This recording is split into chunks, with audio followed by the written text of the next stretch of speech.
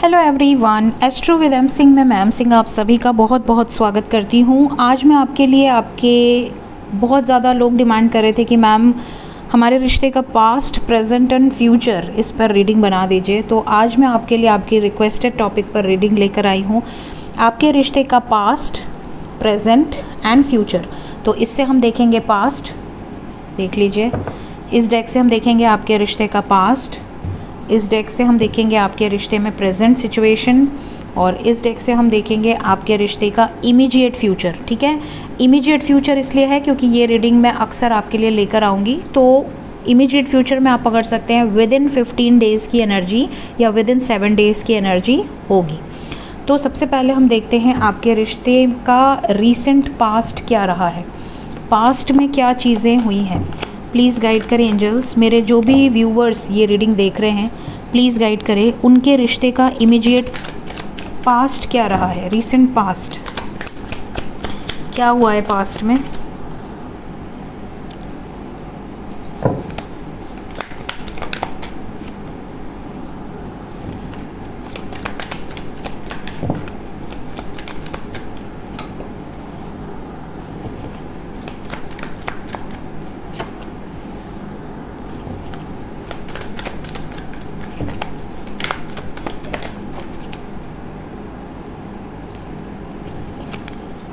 Bottom of the deck है exhaustion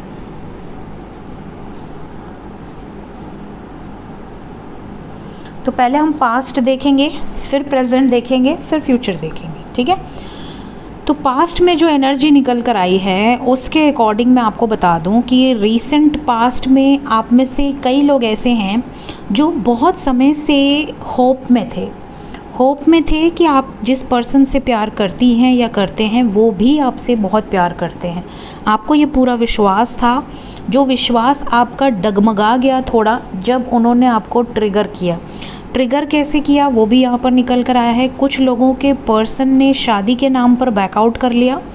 जब आपने उनसे बोला कंप्लीशन के लिए हारमोनी के लिए कि हमारी रिश्ते का फ्यूचर क्या है, क्या हमारी शादी होगी, क्या आप हमारी फैमिली से बात करेंगे, या क्या अपनी फैमिली से मिलवाएँगे तो ये बंदा या ये बंदी थोड़ा पीछे हटने लगी। डर गई, पीछे हटने लगी, या सब प्यार, मोहब्बत छू मंतर हो गया और ये भागने लगे। कुछ लोगों के साथ रिसेंट पास्ट में ये चीज़ें हुई हैं कि आपने इनके बैड बिहेवियर को बहुत ज़्यादा एडजस्ट किया है। हो सकता है इन्होंने आपको गालियाँ दी हों, हो सकता है इन्होंने आपके रहते हुए किसी और से आपको मतलब चीट किया हो, किसी और के बारे में आपको पता चला हो कि इनका फ़लाना लड़की के साथ या फ़लाने लड़के के साथ कुछ ना कुछ चल रहा है, बातचीत चल रही है, या दोस्त के नाम पर ये आपको धोखा दे रहे हैं कि मेरी दोस्त है या मेरा दोस्त है बट एक्चुअली एक्चुअलिटी कुछ और थी, या आपने इनकी कोई गड़बड़ हैबिट पकड़ ली है कि इन्होंने चीट किया है या ड्रिंकिंग हैबिट है या किसी तरह का नशा करते हैं या करती हैं या बहुत ज़्यादा अब्यूसिव हैं तो कुछ ना कुछ आपने इनके बारे में जाना है और जानने के बाद भी आपने कॉम्प्रोमाइज़ किया है चीज़ों के साथ कि चलो ठीक है, मैं एक बार माफ़ कर देती हूँ, एक गलती चलो ठीक है, मैंने माफ़ कर दिया। फिर दोबारा से इन्होंने वही गलती करी, फिर आप किसी तरह एडजस्ट किए, क्यों एडजस्ट किए, क्यों कॉम्प्रोमाइज़ किए, क्योंकि आपको लगा कि नहीं, मैं प्यार करती हूँ तो ठीक है वापस से आपने माफ़ किया। बट इनको माफ़ करते करते आप परेशान हो गए और किसी न किसी टॉपिक पर आप दोनों का बहुत भयंकर रूप से झगड़ा हुआ है। जिसके बाद से आप दोनों या तो नो कांटेक्ट में हैं या एक साथ अगर अनब्लॉक भी हैं तो पहले की तरह चीज़ें फ्रेश नहीं हैं। रोमांस फ्रेश नहीं है, बातचीत पहले की तरह नहीं है, चीज़ों में बड़ा चेंज आया है।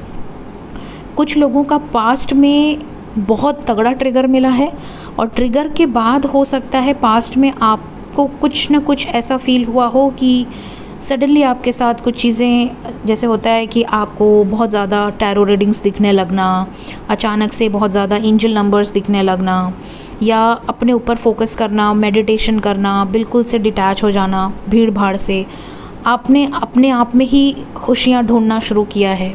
अपने आप को ग्रो करना शुरू किया है, अपने आप पर फोकस करना शुरू किया है। लेकिन आपको धोखा या ट्रिगर या कुछ ना कुछ आपको ऐसा इफ़ेक्ट ज़रूर किया है आपके पर्सन ने, जिसके बाद से ये चीज़ें आपके साथ हुई हैं। कुछ लोगों के लाइफ में रीसेंट पास्ट में ये भी हुआ है कि पास्ट रीसेंट पास्ट में आपका यूनियन हुआ है बहुत समय के बाद। आपके पर्सन आपके लाइफ में वापस आए हैं। लेकिन आने के बाद आपने ये नोटिस किया कि उनका बिहेवियर पहले की तरह नहीं है। पहले की तरह इमोशंस फीलिंग्स लव जो एक दूसरे के लिए भावनाएँ होती हैं, वो चीज़ें आपको, वो फील नहीं आ रहा जो आपको पहले आता था। तो कुछ लोगों के साथ रिसेंट पास्ट में ये चीज़ें हुई हैं। प्रेजेंट कंडीशन देखते हैं क्या चल रही है। ये जो सिचुएशन मैंने बताई है, अगर आप मैरिड कपल हैं और आप अपने हस्बैंड या वाइफ के लिए देख रहे हैं तो भी ये चीज़ें रेजोनेट करेंगी। अनमैरिड के लिए भी, क्योंकि काफ़ी लोग पूछते हैं कि मैम मैरिड के लिए अलग से कर दो। तो ये सबके लिए होती है गाइस जिसको सोच कर आप रीडिंग देख रही हैं या देख रहे हैं, ये उनसे रेजोनेट करेगी। प्लीज़ गाइड करें एंजल्स मेरे व्यूवर्स जो भी ये रीडिंग देख रहे हैं, उनकी लव लाइफ में प्रेजेंट सिचुएशन क्या है?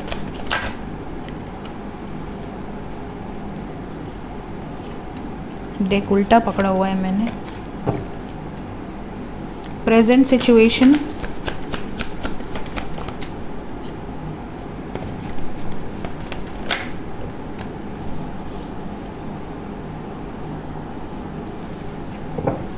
bottom of the deck है high प्रीस्टस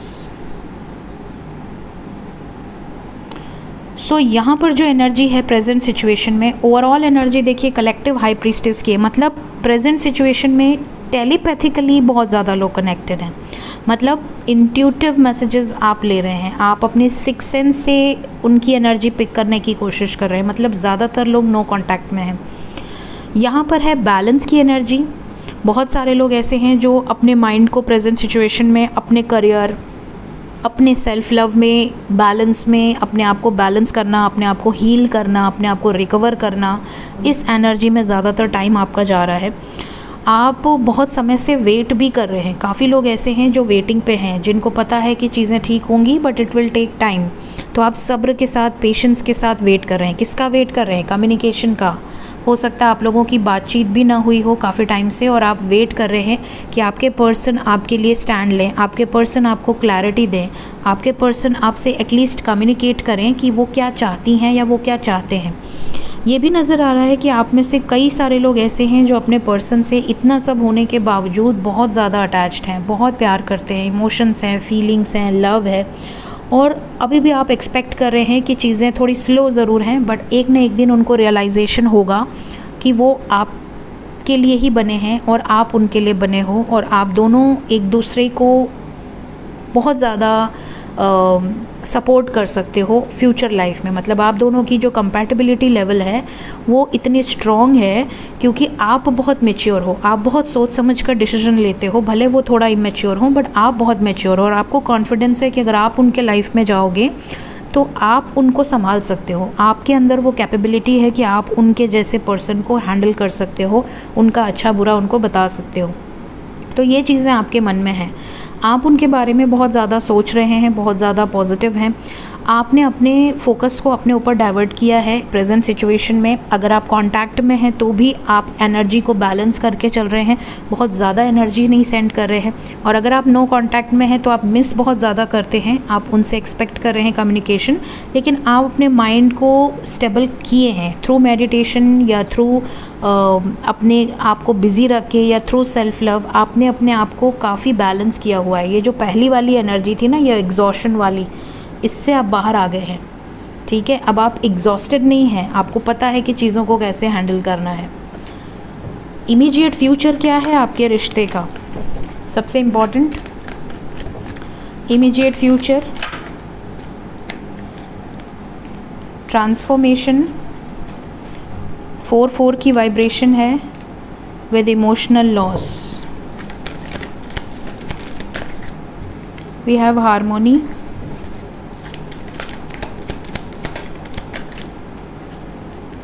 recognition and reward bottom of the deck है ace of wands so guys immediate future में ये रीडिंग जब भी आप देखेंगे टाइमलेस रीडिंग है, उसके बाद विद इन फोर डेज़ या विद इन फोर वीक्स ये चीज़ें आपसे रेजोनेट कर सकती हैं। मोस्ट प्रॉब्ली फोर डेज़ के अंदर, ठीक है? फोर डेज़ के अंदर ये चीज़ें आपसे रेजोनेट कर सकती हैं। आपकी लव लाइफ में कुछ मेजर चेंज नज़र आ रहा है। ये जो चेंज है, ये आप दोनों के बिहेवियर में होगा, आप दोनों के सिचुएशन में होगा। कुछ चीज़ें यहाँ पर ड्रास्टिकली चेंज होंगी। आपके पर्सन अगर आपकी वैल्यू नहीं समझ रहे हैं, आपकी केयर नहीं कर रहे हैं, आपको लेकर कोई एक्शन नहीं ले रहे हैं तो आने वाले समय में ये आपको लेकर बहुत ज़्यादा पॉजिटिव होंगे। इनका फेमिनिन साइड आपको देखने मिलेगा।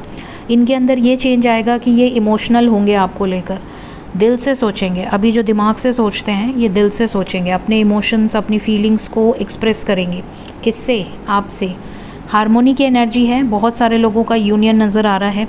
ये भी नज़र आ रहा है कि अगर आपके पर्सन किसी तरह की थर्ड पार्टी सिचुएशन में थे, किसी भी तरह का इनको डर था फियर था, लोग क्या कहेंगे, समाज क्या कहेगा सोसाइटी क्या कहेगी फैमिली क्या कहेगी तो ये प्लान करेंगे उन चीज़ों से बाहर निकलने के लिए, एक नई शुरुआत करने के लिए। And we have double aces तो आपके यूनियन की वाइब्रेशन बहुत स्ट्रॉन्गली यहाँ पर निकल कर आई है। वी हैव डबल वन की एनर्जी तो बहुत सारे लोगों का यूनियन यहाँ पर हो सकता है। यहाँ पर कुछ एंजल नंबर्स भी हैं। एंजल नंबर वन वन की वाइब्रेशन है। Seven one one five one one six one one three one one three one three five one three यहाँ पर वन फोर फोर की वाइब्रेशन है जो कि मैसिव यूनियन का इंडिकेशन uh, करता है। एलेवन फोर्टी फोर की एनर्जी है। ठीक है? बहुत सारे लोगों को ये भी हो सकता है कि आपको कुछ रीयूनियन के ठीक पहले आपको कुछ सिंक्रोनिसिटीज़ हों, आपको हार्ड शेप बहुत ज़्यादा नज़र आए, या आपको कोई ऐसे ड्रीम आए जैसे बहुत सारे लोग मिठाई का ड्रीम देख सकते हैं, चावल से रिलेटेड ड्रीम देख सकते हैं, या अपने पर्सन के साथ बहुत ज़्यादा ड्रीम देख सकते हैं तो इस तरह के ड्रीम्स आपको नज़र आ सकते हैं। ठीक, कुछ ना कुछ ऐसे ड्रीम्स आएँगे जो कि आपको हारमोनियस यूनियन की तरफ़ इंडिकेट इंडिकेशन देंगे। तो ये थी गाइज़ आज की रीडिंग आपके रिलेशनशिप का past present and future reading अगर आपसे रेजोनेट हुई हो और आपको गाइडेंस मिली हो कमेंट सेक्शन में ज़रूर बताइएगा। पसंद आई हो, ज़रूर लाइक कीजिएगा। Thank you so much guys take care of yourself bye